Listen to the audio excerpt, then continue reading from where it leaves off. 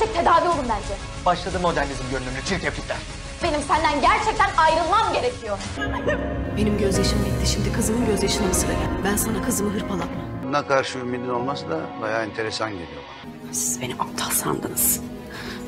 Ama ey büyük Allah'ım bak nasıl dolandırdın ayaklarına. Kızılcık Şerbeti dizisi yeni bölümünde Nur Sema ve Pembe'nin yaşadıkları duvar kağıdı olayından sonra Doğa çileden çıkar ve kesin olarak ayrılmaya karar verir. Ancak Fatih bu durumu kabullenmez ve ne yapıp edip bir şekilde kendini affettirmeyi başarır. Ancak yaşanan sıkıntılar iki aile arasında daha da derinleşir ve büyümeye başlar. Leman'ın Kıvılcım'ı Doğan'ın annesi olduğunu öğrenmesi neticesinde oldukça büyük olaylar yaşanır. Dolayısıyla oluşan bu gelişmelerden sonra Kıvılcım Ömer'den uzaklaşır. Ömer ne kadar uğraşsa da uzun bir süre Kıvılcım artık Ömer'le birlikte olmaz. Abdullah ile Alev cephesinde ise olaylar hızlı ilerlemektedir. Kısa bir zamanda yakınlaşmaları gün yüzüne çıkar.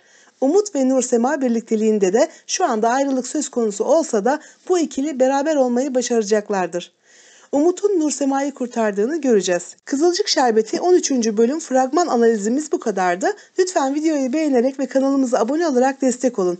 Başka bir videoda görüşmek üzere. Sağlıkla kalın, sevgiyle kalın ve hoşça kalın.